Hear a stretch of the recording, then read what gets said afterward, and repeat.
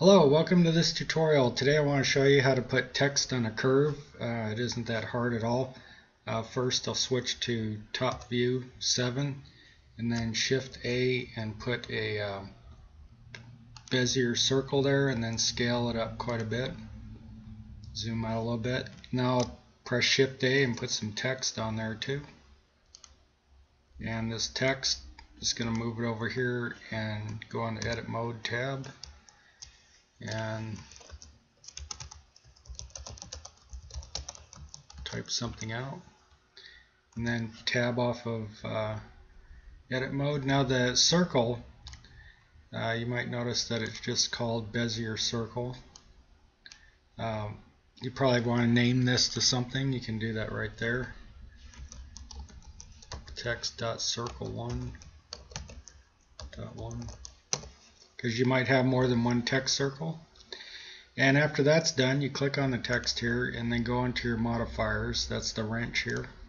And you're going to put a curve modifier on there. So you um, select curve modifier.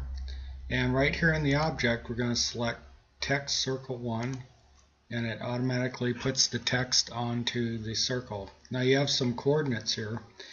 I'm going to go back into ca um, camera view and if you start clicking these you can see that uh, your text starts doing some things. Probably some things that you don't want. Um, but that's probably the the way I want the text on the circle right there. So right now I'm going to rotate it on the x-axis. So it's R and X for rotate and type in 90 and it puts it on the um, uh, standing up so you notice if you move the handles here that you can transform your text along this path. I also notice that the text is going the wrong way. That can be fixed. Then I'll transform it again. And it's standing up. And I'm going to show you how to animate this text around the circle. But after your text is there, you know, you can uh, bevel it. I'd go in here to the object data for font and geometry. And you want to um, extrude it a little bit. And now for animating it, uh, that's pretty easy. So I'm going to go back to camera view and make sure that the text is where I want it. I'm going to have this come around and go just like this. So first, with the text selected, press I on the keyboard and put location keyframe in. Click that. And then I'll come out here to about uh, 60 and right click and I'm going to click on the text again but you know I can't see the uh, handle. If you press G and grab it you notice that your text goes uh, kind of weird. So I pressed X on the keyboard so G and X and I'll click about right here and then G and X again and then I'll put another keyframe make sure your mouse cursor is in the viewport. Press I on the keyboard and location. And then just rewind it by uh, left clicking here. And you can press alt A on the keyboard or press the play button here and see that the text goes by. Now um, in the uh, you notice that the text is going too fast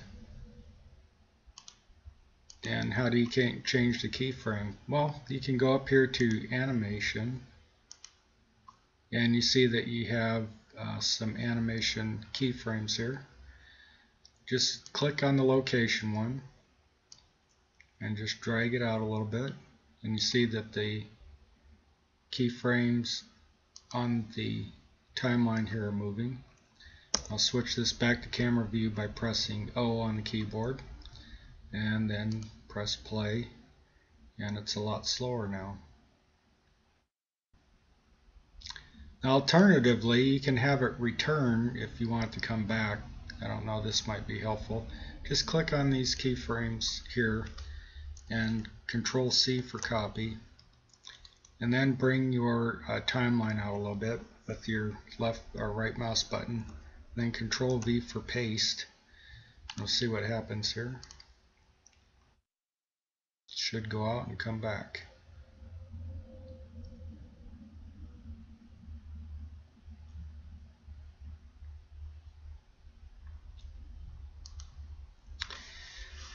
Now another thing that uh, you might want to know how to do is how do you get the text to keep revolving around this circle throughout the whole movie? Well first I'm going to delete these keyframes. Click on them and press X on the keyboard and get rid of them. Then rewind all the way. And I already have this keyframe here so I'm just going to move out on the um, timeline here just a little bit and then click on the text and press uh, G on the keyboard and X I believe and just move it just a little bit and then put in another keyframe okay. So it just moves a little bit.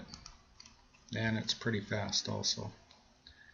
Now inside here you're going to see on the location since that was X, can't really see that right there, but you can see that it's changed.